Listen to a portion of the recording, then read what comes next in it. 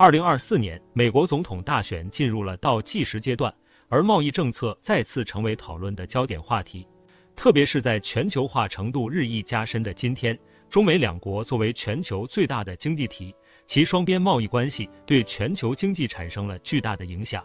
如果特朗普再次当选，并且如其所言升级对中国的关税措施，甚至取消中国的永久正常贸易伙伴关系，那么对全球经济的冲击将不可忽视。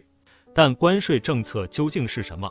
为什么它对经济的影响如此之大？今天我们就以这一问题为主线，深入分析美国自二零一八年以来的关税政策变化，以及其对全球经济的实际影响。特别是我们将基于全球贸易分析模型来具体测算这些影响。关税的起源与历史，从二零幺两百三十二到三百零一关税。首先，让我们回顾一下特朗普在其首个总统任期内实施的几项关键关税政策。二零一八年是中美贸易冲突的元年，特朗普政府相继依据美国国内的多项法律条款，对进口商品加征了高额关税，主要包括三大条款。两百零一条款主要针对太阳能电池板和大型家用洗衣机。两百零一条款关税是美国历史上常见的一种保护主义措施。旨在保护国内特定行业免受进口产品的冲击。特朗普政府利用这一条款，对进口的太阳能电池板和洗衣机分别征收了高达百分之三十和百分之二十的关税。这一措施旨在通过保护国内生产商，减少美国对外国制造业的依赖。两百三十二条款涉及钢铁和铝制品。根据美国一九六二年的贸易扩展法。两百三十二条款允许政府以国家安全为由，对某些进口商品加征关税。特朗普政府利用这一条款，对来自全球多个国家的钢铁和铝产品征收了分别为百分之二十五和百分之十的关税。这一政策背后的逻辑是，钢铁和铝是制造业的基础，对军事基础设施等多个领域至关重要，因此保护这些行业被视为国家安全的需求。三百零一条款，这是影响最为广泛的关税政策，特别针对中国。根据美国一九七四年的贸易法，三百零一条款允许政府对那些被认为存在贸易不公平行为的国家征收关税。特朗普政府以强制技术转让、知识产权盗窃为由，对中国进口商品大规模加征关税。这些关税覆盖了从家用电子产品。纺织品、家具到机械设备的多个领域，涉及商品总价值超过三千两百亿美元。这一政策的直接目标是减少美国对中国制造业的依赖，同时间接推动美国国内制造业的回流。关税政策的影响，保护还是自损？特朗普政府的关税政策虽然在短期内看似为美国国内部分产业提供了保护，但从长期来看，这些政策实际上对美国经济的伤害远大于收益。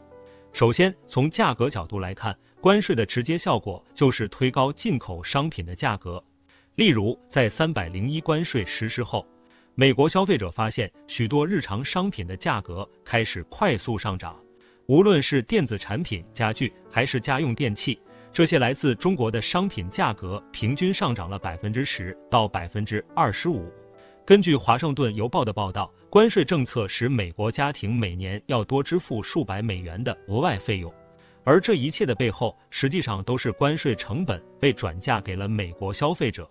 其次，关税政策对就业的负面影响同样显著。虽然特朗普政府宣称加征关税可以保护国内工作岗位，特别是在制造业领域，但事实并非如此。数据显示，由于关税推高了生产成本。许多依赖进口零部件的美国企业不得不削减开支，甚至裁员。美国国际贸易委员会的研究显示，三百零一关税导致美国在某些行业的就业减少了约二十四点五万个岗位。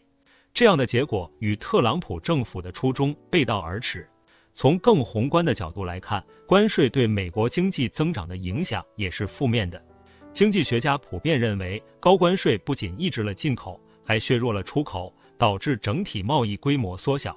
根据牛津经济研究的报告，特朗普关税政策对美国实际 GDP 的冲击在百分之零点三到百分之零点五之间，直接导致美国经济每年损失超过五百亿美元。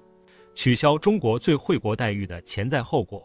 特朗普政府曾提出，如果他在二零二四年连任，将取消中国的永久正常贸易伙伴关系，并且对中国商品全面征收百分之六十的关税。那么，取消 PNTR 究竟意味着什么？这种政策又将如何影响中美贸易以及全球经济？PNTR 也就是所谓的最惠国待遇，是指一国在关税和贸易条件上给予另一国的优惠待遇。中国自二零零一年加入世界贸易组织后，获得了美国的永久最惠国待遇，这使得中国出口至美国的商品大多数享受较低的关税税率。然而，如果取消这一待遇，美国将可以对中国商品征收高达百分之六十的关税。假如这一政策得以实施，受影响最严重的将是那些依赖中国供应链的行业。例如，手机、计算机、家用电器等电子产品是中国对美国出口的主要商品，而这些商品目前的关税几乎为零。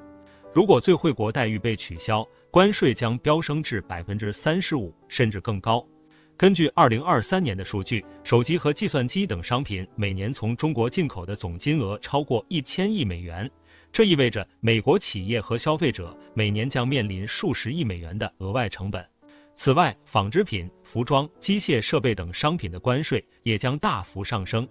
例如，纺织品和服装的关税将从目前的百分之十一点五提高到百分之五十九点二，而机械设备的关税将从百分之零点六提高到百分之三十五点四。这不仅将推高商品价格，还可能导致中美两国之间的贸易进一步萎缩。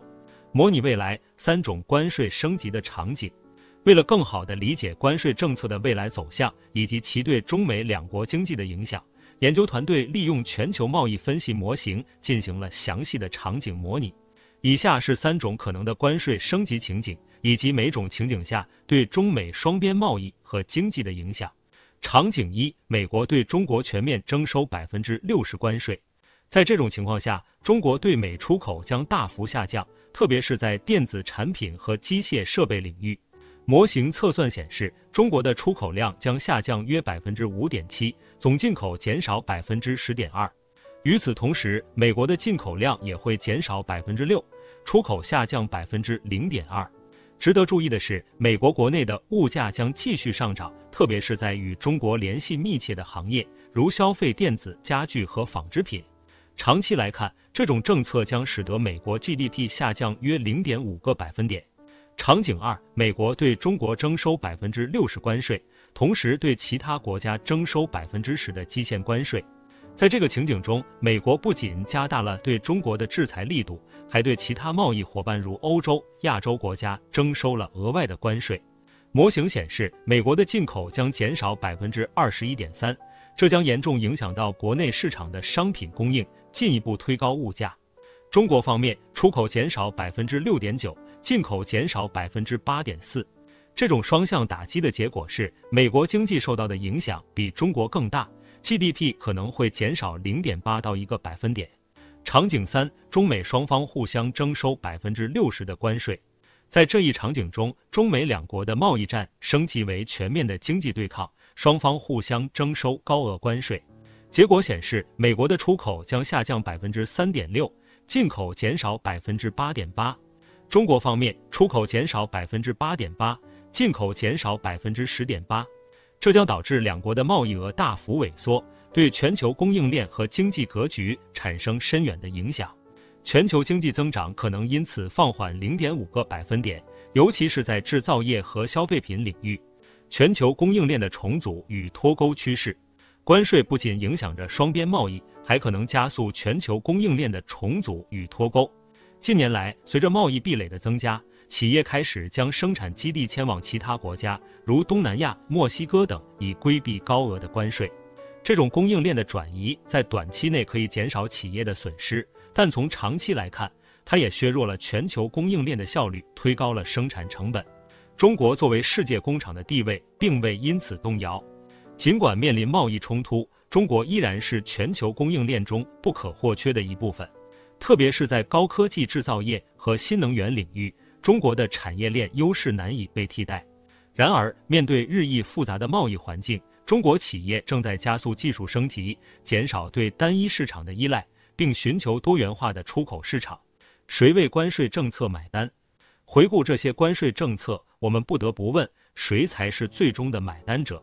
虽然表面上关税是针对外国商品的制裁工具，但实际上承担成本的往往是国内的消费者和企业。美国国际贸易委员会的数据显示，三百零一关税几乎全部由美国的进口商和消费者承担，企业的利润被压缩，消费者的购买力下降，这无疑给美国经济带来了沉重的负担。